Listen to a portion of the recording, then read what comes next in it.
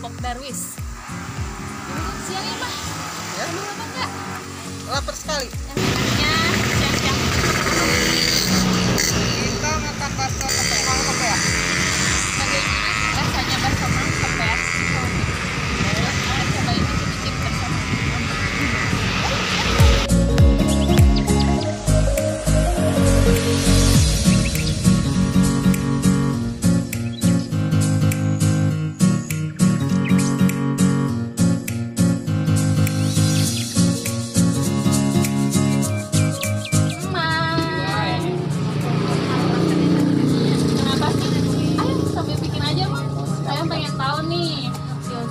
Silsilahnya, deskripsinya bakso mangkok ya.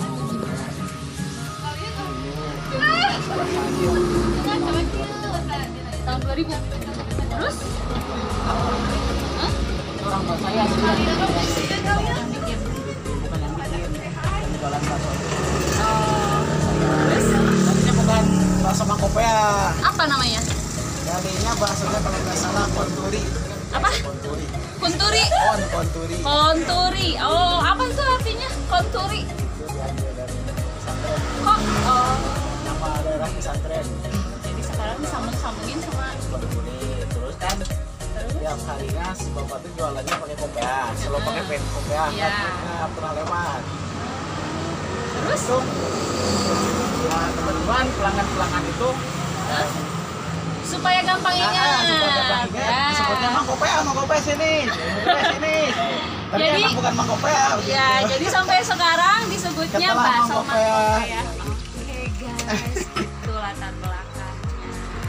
By the way, ini cabangnya udah berapa sih, Mas? Ini cabang baru ya? Di mana aja tempatnya? Biar Baraya Cihaur Ciamis tuh ngicip-ngicip di depan kopea. SD Bakso 1. mangkopea. Oh, di SD 1 Depan Sumber SD 1. eh, Ini, ini, Beti. ini. Ya, terus Surabaya pas Kali. Oh, pas Surabaya dua. Terus sama di sini di Raja Pola ada empat, tiga. Di sini empat. Terus wah banyak oh kayaknya. Gak banyak nih. Gak terlalu banyak. Berarti ini mulai familiar ya. Mangkok ya, cabangnya di mana-mana. Kalau pengen tahu rasanya kayak gimana bakso mangkok ya, datang aja ke sini. Jalurnya jalur jalan panjang. Ayo kita icip-icip sama Mama Dimas.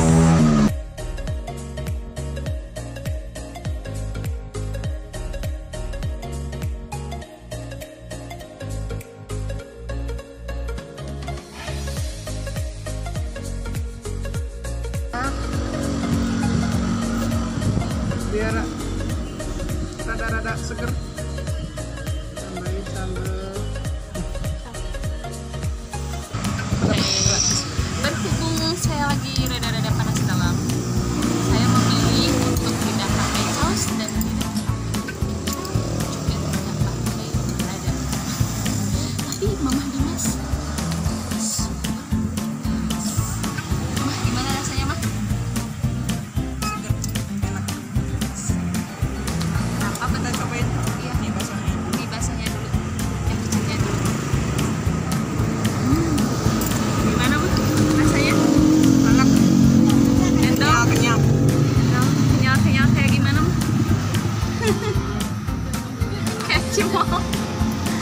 lah yang gedenya mah Ini nih, ini ya. yang gedenya Yang gedenya ini diminta. ternyata Kita ini. ada ada apa itu ada dagingnya cobain mah